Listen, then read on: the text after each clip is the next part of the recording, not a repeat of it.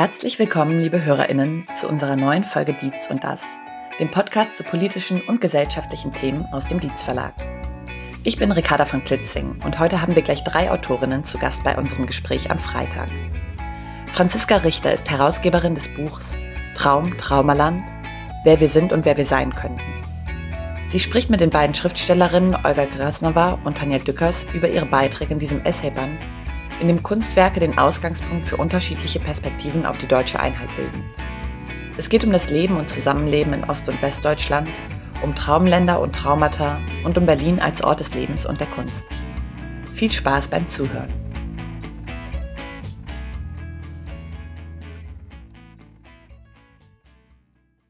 Liebe Zuhörerinnen und Zuhörer, ganz, ganz herzlich willkommen äh, zu unserem Gespräch über das Buch Traumland, Traumaland, wer wir sind und sein könnten, Identität und Zusammenhalt in Ost und West, erschienen beim Dietz Verlag Bonn, herausgegeben für die Friedrich-Ebert-Stiftung, von mir als Herausgeberin. Mein Name ist Franziska Richter. Ich bin Referentin für Kultur und Politik und Politik in Ostdeutschland bei der Friedrich-Ebert-Stiftung. Und ich habe mit diesem Buch äh, versucht, meine beiden Arbeitsbereiche, die mir sehr am Herzen liegen, zusammenzuführen, zusammenzubringen.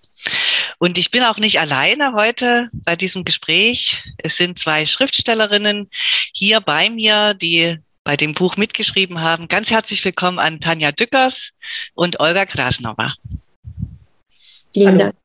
Schön, Hallo. dass ihr da seid. Ja, ich kann euch tatsächlich sofort direkt vorstellen. Ich denke, viele von euch kennen euch auch schon. Aber es ist mir eine große Freude, dass ihr mit hier seid bei den vielfältigen Projekten, äh, die ihr habt ähm, und schreibt. Tanja Dückers ist Schriftstellerin, Publizistin, 68 in Westberlin geboren. Zuletzt erschien äh, ihr Roman Mein altes Westberlin Sie schreibt viele Romane. Zum Beispiel ich, Tanja, habe mit dem Roman Der längste Tag des Jahres dich kennengelernt und sehr, sehr schätzen gelernt.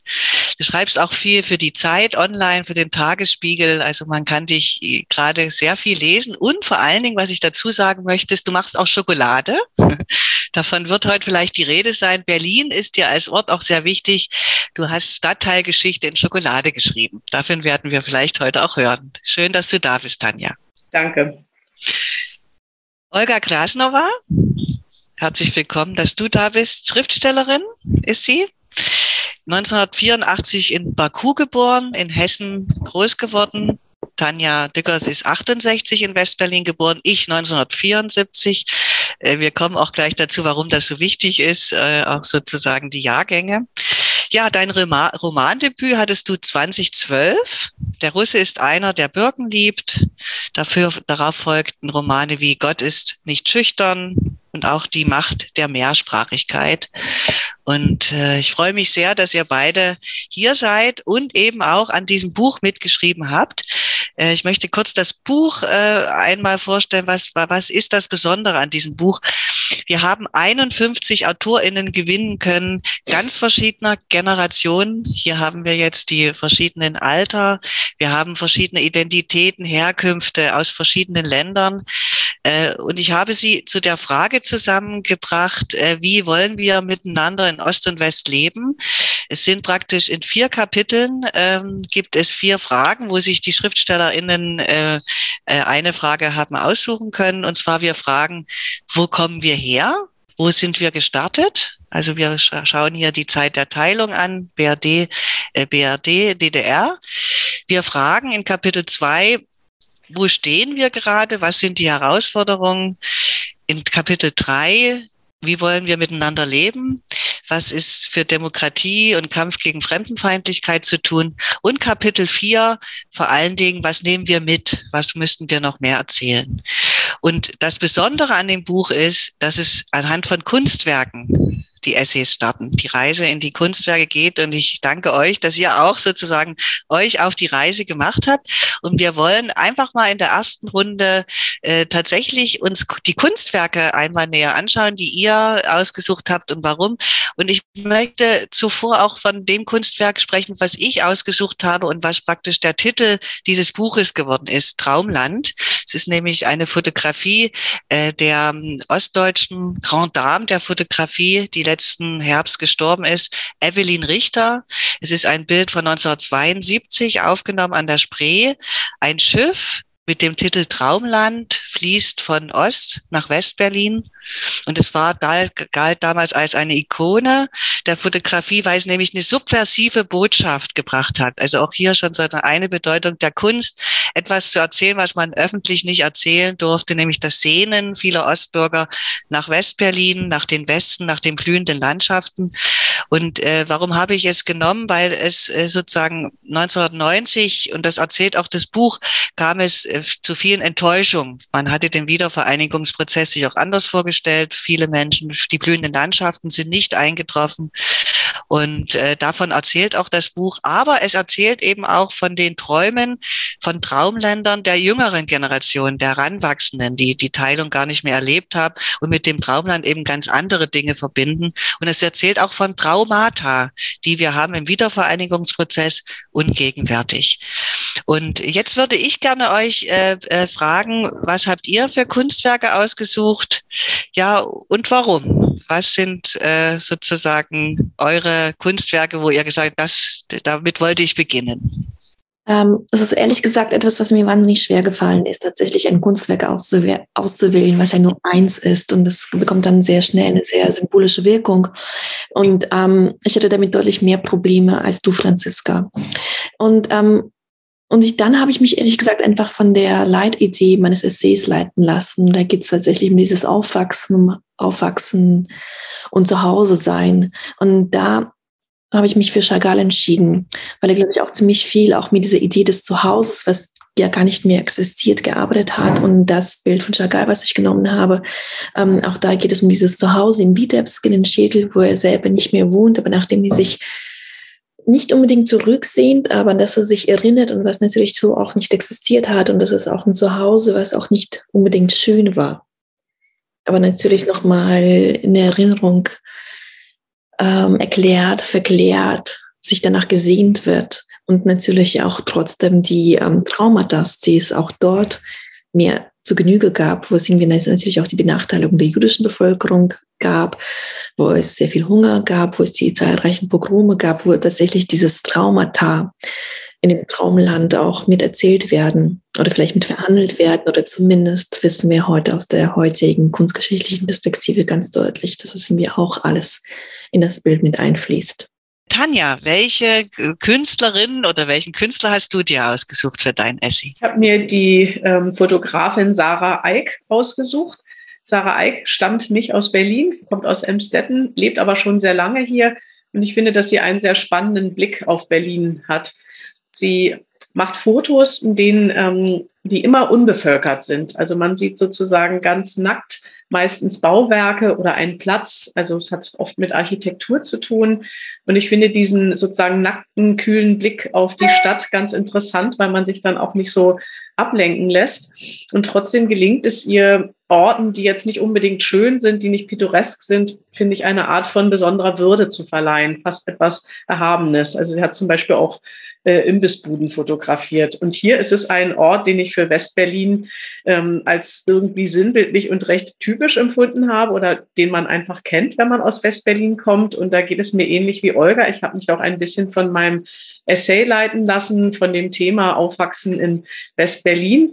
Und mein Ort ist die sogenannte Rosa Röhre. Das ist ähm, ein, das ist beim Zoo, beim, ähm, in der Nähe vom äh, Bahnhof Zoo und eben dem, dem Zoo. Und das ist ein sehr seltsames Gebäude mit einer riesigen rosanen Röhre. Das gehört zur TU, zur Technischen Universität und wurde von der TU benutzt für Versuche, für Experimente ähm, des Studiengangs Schiffbau. Und da werden so, da wird Wasser umgeleitet. Also das ist ein, äh, ein, ein Umlaufkanal, ein Strömungsumlaufkanal. Und das ist eben ein sehr auffälliges Gebäude, ganz blau und dann diese wirklich riesige rosane Röhre. Und als Kind habe ich immer überhaupt nicht verstanden, was das sein soll. Ehrlich gesagt verstehe ich es auch jetzt noch nicht so ganz. Also ich kann das nur so wiedergeben. Aber was da genau drin stattfindet, ist mir natürlich völlig verschlossen. Aber als Kind war das für mich irgendwie so ein bisschen ja, fast hatte das etwas Extraterrestrisches. Das war so wie von ganz weit her und hat mich auch so ein bisschen an das in der ähnlichen Zeit auch Mitte der 70er Jahre entstandenen ICE, ICC erinnert, das, das Kongressgebäude, was jetzt seit langem leer steht. Und das waren so, so interessante architektonische Vorhaben in Berlin, die irgendwie einem das Gefühl gaben, ähm, ja, vielleicht, da ist eine poetische Note drin, so ein bisschen wie West-Berlin so war, auch ein bisschen kaputt und ein bisschen seltsam, ein bisschen rätselhaft, aber ähm, irgendwie auch ganz, äh, ganz bezaubernd. Also so hatte dieses eigentümliche Gebäude, was ich als Kind immer, wenn ich mit meinem Bruder und Freundin im Zoo war, dann habe ich mich gar nicht so sehr für die Tiere interessiert, sondern ich habe immer zu dieser rosa Röhre geguckt und ähm, mich da ein bisschen irgendwie von bezaubern lassen. Deshalb habe ich dieses Foto von Sarah Eick ausgewählt.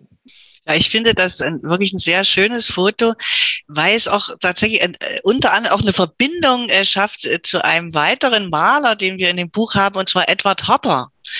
Äh, du hast ja beschrieben, also auch diese Einsamkeit, dieses Alleinsein oder dieses Zeitlose.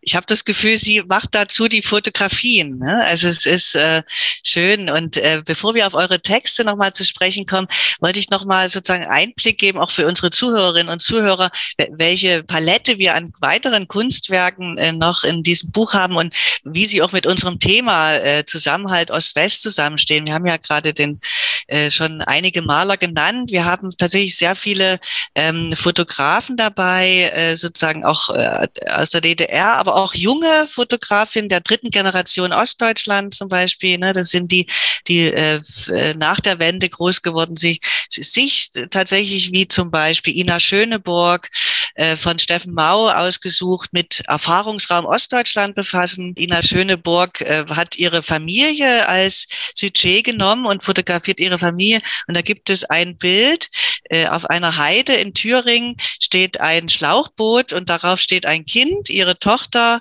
visionär in die Zukunft schauen, dann ihre Großmutter mit Hund sitzt hinten. Und das finde ich auch sozusagen eine Imagination des Kommenden und auch der Gestaltungskraft, die die Menschen in Ostdeutschland haben, finde ich das äh, sehr schön. Es gibt zum Beispiel auch äh, äh, DDR Kunst, die ich sehr wichtig finde, die hier sichtbar gemacht wird, die auch schon teilweise vergessen äh, wurde. Daniela Kolbe hat äh, sich Harald Hagenbeck ausgesucht, ein Bild, äh, was in den Depots verschwunden ist, wo wir aber wir in der DDR mit groß geworden sind, äh, und zwar der äh, Peter im Tierpark, äh, sozusagen ein, ein Maler, der vergessen wurde und der dadurch auch jetzt durch das Buch auch wieder eine neue ähm, Öffentlichkeit bekommt. Und das wollen wir auch erreichen, also dass man über Dinge redet, die lange vergessen schienen und die in unsere Gegenwart hineinragen. Oder bloß nochmal exemplarisch Wolfgang Mattheuer. Der Jahrhundertschritt äh, wurde von dem Historiker Sascha Ilka Kowalczuk ausgesucht, ähm, der sich in, in unglaublicher Weise mit der Zerrissenheit des 21. Jahrhunderts befasst, mit der Vergangenheit, die wir haben und auch unsere Zukunft. Und gerade wenn man schaut auf die Themen, die wir ja auch mit dem Buch befassen wollen, Kampf gegen Rechtsextremismus, Populismus, Fragen auch jetzt des Krieges, die aufgeworfen werden. Und wenn man den Jahrhundertschritt sieht, äh, der äh, sozusagen öffentlich auch äh, vor dem Leipziger äh, Museum für zeitgenössische Kunst steht, ist das sozusagen nochmal ein Appell, auch nochmal äh, die Vergangenheit äh, nie ruhen zu lassen und sich damit zu befassen. Nur will ich gerade dran noch die letzte Zeit nutzen, tatsächlich über eure Essays zu sprechen. Und zwar seid ihr auch da verbunden, weil ihr beiden habt praktisch die Orte, ihr habt es ja schon genannt, die Suche nach Orten äh, in, äh, als Thema. Äh, Tanja, du hast ja schon gesagt, du hast äh, dein Essay in Kapitel 4 äh, ist gesetzt worden. Und zwar da fragen wir ja, was nehmen wir mit? Was müssen wir noch an Erinnerungen mitnehmen? Äh, was haben wir noch nicht genügend erzählt? Dein Essay heißt Not Germany, Berlin, Berlin, Erinnerungssplitter einer Insulanerin. Und äh, Olga, du hast in Kapitel zwei, äh, wo wir ja auch die, die Frage stellen, was sind unsere Herausforderungen, das Essay geschrieben mit dem Namen Ich und das Dorf über die Suche nach einem Ort, an dem man leben möchte. Und vielleicht, Tanja, beginne ich mit dir. Du hast dich ja ganz bewusst äh, deine Kindheitsorte ausgesucht. Ähm, kannst du sagen, was dir da so äh, wichtig ist äh, daran und äh, tatsächlich auch vielleicht noch mit deiner Arbeit jetzt als die Schokoladenmanufaktur? Du bringst Orte der Berlins praktisch so in, in so eine Gegenwärtigkeit. Ja, vielleicht äh, erstmal zu der deiner mh, ersten Frage. Ich glaube, mir war wichtig, darüber zu schreiben, dass man sich, wenn man in West-Berlin aufgewachsen ist, nicht unbedingt als westdeutsch empfunden hat, sondern dass man so das Gefühl hat, es gab irgendwie drei Staaten, Ostberlin und Ostdeutschland, dieses in, in so inselhafte Westberlin und dann Westdeutschland. Man muss sich vorstellen, also als ich ein Kind war, wir mussten immer zwei Grenzen passieren, um die Verwandten in Westdeutschland zu besuchen. Wir mussten unseren Pass zeigen, durch Soldaten laufen und so weiter. Also es war ja schon, man hatte nicht das Gefühl, dass das so ein Land sei, wobei ich mittlerweile auch glaube, dass viele Unterschiede, die ich wahrgenommen hatte, auch mit dem Gefälle zwischen Großstadt und Provinz natürlich zu tun hatten. Also jetzt als Erwachsene sehe ich auch, dass ich verschiedene Dinge auch vermischt habe. Denn Berlin ist nun mal die einzige Großstadt Deutschlands und da war man dann manchmal auch überrascht in Westdeutschland, wie man dort einfach gelebt hat und wie sehr sich das vom Leben in Berlin unterschied. Ich bin in einem Haus aufgewachsen mit Einschusslöchern und die Spuren des Krieges waren einfach in Westberlin noch viel stärker spürbar. Und Westberlin war auch damals natürlich deutlich ärmer als der Rest des Landes und das hat einen auch geprägt. Also ich bin selbstverständlich mit Kohleofen und so aufgewachsen, zumindest eine Weile lang. Also dieses, dieses Gefühl, doch ein anderes Land zu sein und gleichzeitig sich in einer eigentümlichen Nahdistanz zum Osten zu befinden, das habe ich versucht etwas zu beschreiben. Wir haben von der Schule aus oft Wandertage nach Ostberlin gemacht. Meine Eltern, Kunsthistoriker, haben auch oft Kunsthistoriker in der DDR besucht, also nicht nur in Ostberlin, sondern auch in Dresden und anderen Städten. Und da gab es relativ viel Kontakt. Und ich fand es immer gerade bei den Ostberlinern und Ostberlinerinnen so faszinierend, dass sie so ähnlich sprechen wie wir, aber in einem anderen politischen System leben. Wenn wir nach Bayern fahren oder Baden-Württemberg, dann kann ich die Leute quasi nicht verstehen, aber wir sind, gehören zum gleichen Land. Also für mich als Kind hat das sehr viele ähm, verschiedene Schichten sozusagen zutage gefördert und viele Irritationen und es ist immer noch manchmal für mich ein bisschen seltsam jetzt, dass ich aus Sicht von Ostdeutschen natürlich einfach ein Wessi bin, so wie die seltsame Leverkusener Tante, die nach Berlin kam, nach West-Berlin und uns erzählte, in welcher Gefahr wir leben würden und dass der Russe, es war ja immer diese Singularform, ganz bestimmt West-Berlin bald abriegeln und besetzen würde. Nun gut, also unter neuen äh, politischen Vorzeichen sieht man manche Furcht jetzt vielleicht auch ein bisschen anders, aber zumindest sind wir erst nach der Wende wirklich Wessis geworden. Und äh, das äh, finde ich wirklich so das Erstaunliche und Wichtige an deinem Essay, dass du dieses Thema so auf die Agenda setzt, eben, auf, obwohl wir dieselbe Sprache hatten, ne? Ja ist da eine Fremdheit zu spüren, äh, damals, Zeit der Trennung, aber eben auch heute noch. Ne? Also, dass du sagst, du fühlst dich auch manchmal noch als Wessi. Äh, äh, und das ist eigentlich unglaublich schade, dass man 30 Jahre nach der deutsch-deutschen Wiedervereinigung noch in diesen Kategorien denkt. Und äh, das ist aber auch so noch. Und ähm, oder wir arbeiten eben gerade dran. Also dieses Buch versucht eben genau diese Sachen zu besprechen und gerade die Sprache. Ähm, ja, es ist ein Missverständnis. Ich muss das korrigieren. Ich habe mich eben nie als Wessi gefühlt. Also das ist der Unterschied. Ich habe mit den Ostdeutschen und den OstberlinerInnen eigentlich genauso nah fern gefühlt wie den Westdeutschen. Mhm. Aber du wirst, äh, du wirst als solches empfunden, hat er. Ich ich ja, natürlich. Man wird ne? jetzt, ja. ähm, wobei man auch merkt, dass Menschen auch mehr und mehr differenzieren. Aber ähm, für mich bin, sozusagen erst 1989 wurde ich zum Wessi. Also ich fand das, ich hatte eigentlich das Gefühl, wir sind so ein Zwischenstaat zwischen West und Ost. Und ich habe auch hm, also mit anderen OstberlinerInnen natürlich auch gemeinsame Gesprächsthemen und Gemeinsamkeiten durch das doch Aufwachsen in der gleichen Stadt, trotz der Teilung. Also das ist auf eine bestimmte Art, auch einfach durch dieses Großstadterlebnis hatte man mehr Gemeinsamkeiten als vielleicht mit jemand von einem bayerischen Dorf bayerisches Dorf. Das ist praktisch, das Dorf ist jetzt eine, eine Verbindung äh, äh, zu Olga, nicht das äh, bayerische Dorf, sondern auch das hessische Dorf. Äh, ist jetzt, äh, du hast dich also auch mit tatsächlich dem Ort befasst. Und zwar aber etwas, was uns was auch so ein verbindendes Thema ist der, der Generation. Und zwar äh, die wirklich Befassung mit Orten, an denen wir überhaupt noch leben können, die wir uns überhaupt noch leisten können, Olga. Was ist dein Ort, über den du schreibst in deinem Essay? Oder deine Orte? Sind viele. Es ist kompliziert. Wir haben natürlich eine völlig andere Lebensgeschichte, auch eine familiäre Geschichte als die von Tanja. Bei uns war das so zum Beispiel, der eine Großvater war tatsächlich der Russe, der in Berlin einmarschiert ist mit der ähm, Roten Armee. Und ähm, die andere Hälfte wurde von, ähm, also ein sehr, sehr großer Teil der Familie wurde vor der Wehrmacht ausgelöscht. Und ähm, für uns war das nie wirklich ein Land, was, ähm, wo wir tatsächlich leben wollten oder uns das auch sehr lange auch nur vorstellen konnten.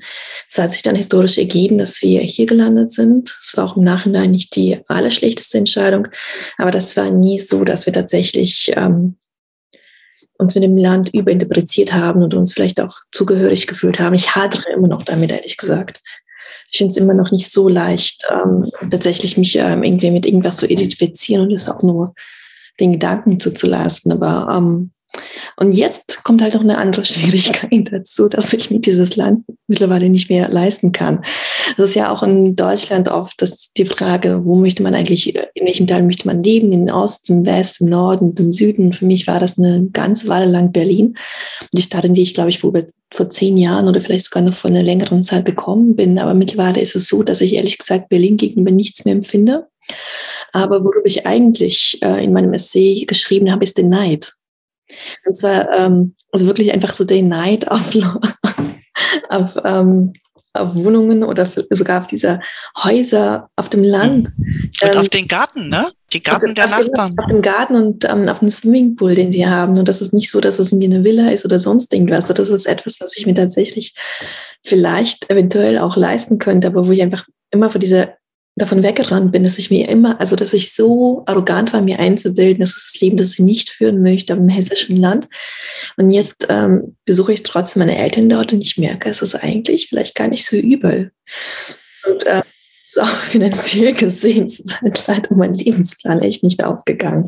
Und genau darum geht es ja eigentlich. Wie wollen wir leben? Was können wir uns überhaupt noch leisten? Was ist überhaupt natürlich auch mit der ganzen, mit den letzten Entwicklungen in unserer Gesellschaft, auch mit der Digitalisierung, ähm, mit der Arbeit, die halt überhaupt nicht mehr vor Ort stattfindet ähm, und überhaupt eigentlich mit dem ganzen Zusammenrücken der Welt, wie wir uns überhaupt, also wie wir leben möchten, wo wir leben möchten und ob wir überhaupt dieses Konzept von der internationalen Großstaat, ob das überhaupt noch zeitgemäß ist oder ob es eigentlich mittlerweile auch nur noch ein Gemälde ist. Ich finde das sehr spannend, was Olga sagt. Also ich muss auch sagen, dass sich dieses Westberlin für mich natürlich unglaublich verändert hat ich neige jetzt nicht so zu ähm, Nostalgie als ersten Reflex, weil ich auch manche Veränderungen natürlich als positiv bewerte. Aber wenn wir jetzt über Sozialneid und Wohnung und so weiter sprechen, dann erinnere ich mich an meine erste eigene Wohnung in Neukölln, für die ich 170 Mark gezahlt habe. Es war natürlich mit Außenklo und Ofenheizung, aber als Studentin auch in Ordnung. Und die war gar nicht mal klein. Also, und das, also, dass ich mich in meiner eigenen Heimatstadt mal sorgen müsste, vielleicht mir keine Wohnung mehr, mehr leisten zu können. Ich spreche von Mietwohnungen, ja. Also äh, das finde ich schon auch, ähm, ich bin jetzt über 50, ich habe immer viel gearbeitet und so, also das finde ich schon auch hart. Und ähm, ja, also OstberlinerInnen geht es in noch viel stärkerem Maße so. Also das sehe ich auch sehr kritisch und weil wir bei dem Thema natürlich auch kunstbildende Kunst sind. Ich erinnere mich an dieses West-Berlin und an die damalige Kunstszene, in der meine Eltern auch äh, Protagonisten, Protagonistinnen waren. Da gab es die Neuen Wilden, da gab es Wolfgang Petrick und solche Leute und ja, das war irgendwie überhaupt nicht in so einen riesigen äh, Kunstmarkt mit absolut abstrusen Auktionssummen eingebunden. Also das hatte vielmehr einen experimentellen Charakter und man kannte sich untereinander. Und diese, dieser Kunstmarkt, der jetzt nach Berlin gekommen ist, hier Einzug gehalten hat, der ist eben viel internationaler, was auch sein Gutes hat. Dadurch lernt man auch Künstler, Künstlerinnen aus ganz anderen Ländern, Kontinenten kennen. Also ich sehe auch einen Gewinn natürlich da drin, aber andererseits ist das eine Preisspirale, die sich da entwickelt hat und auch eine, ja, ein, ein, ein also eine Form von also so dieses, sage ich mal, nachbarschaftliche Nahe, dass man so in einer Szene sich auch etwas kannte, das ist natürlich komplett verloren gegangen dabei. Das ist komplett internationalisiert mit den Vor- und Nachteilen. Also das, äh, das beobachte ich auch mit, sage ich mal, einigen Fragezeichen. Ich auch ehrlich gesagt selbst das Gefühl habe, dass selbst diese Szene sich Berlin nicht mehr leisten kann. Also selbst viele Künstlerinnen, die eigentlich jetzt sehr gut verkaufen, selbst die finden keine Ateliers mehr. Also wir haben jetzt schon gesehen an dem Gespräch anhand von Orten, ne, zwei Essays, die wir zusammengeführt haben, zwei Schriftstellerinnen, dass in, in diesem Buch so unglaubliche vielfältige Aspekte des Zusammenlebens stecken, über die man praktisch abendfüllend sprechen kann und auch muss. Ich hoffe, dass äh, das Buch ähm, tatsächlich äh, noch mehr Leserinnen und Leser als bisher erreicht. Wir gehen auch auf Lesereise. Olga, du warst schon bei einigen dabei. Tanja, wir planen jetzt auch gerade für den Sommer wenn praktisch jetzt auch die Fragen deutsche Einheit, die Festlichkeiten kommen, wollen wir auch mit dir auf Tour gehen. Ich danke euch für dieses Gespräch, was wir führen konnten. Ja, und liebe Zuhörer, das Buch gibt es im Buchhandel. Sie können mich aber auch gerne ansprechen äh, und den Dietz Verlag, wenn Sie interessiert sind an Lesungen mit unseren Schriftstellerinnen, natürlich auch mit Tanja Dückers und Olga Krasnova. Ja, und jetzt kann ich mich verabschieden. Habe mich sehr gefreut über das Gespräch. Vielen Dank. Vielen Dank. Vielen Dank.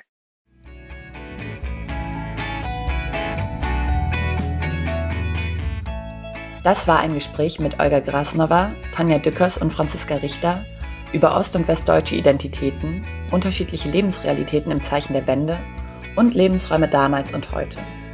Das Buch Traum Traumaland könnt ihr in allen Buchhandlungen und auf unserer Website dietz-verlag.de bestellen. Abonniert gerne unseren Podcast und bleibt immer auf dem Laufenden. Bis bald, euer Dietz Verlag.